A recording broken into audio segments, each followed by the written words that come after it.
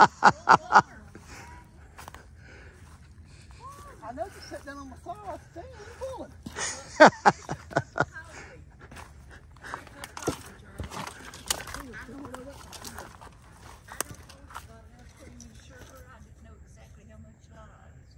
I didn't know how to pull this in that rock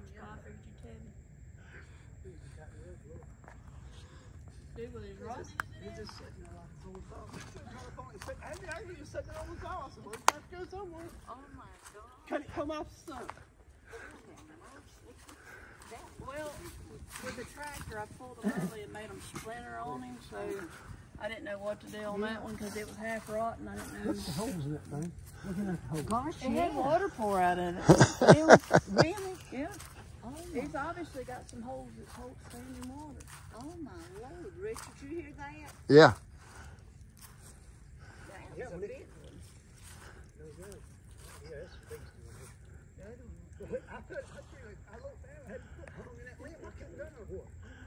I said, well, it done sit down on the saw. I said, are they gonna pull? I mean, Well, normally he gives me a nod or something to let me know.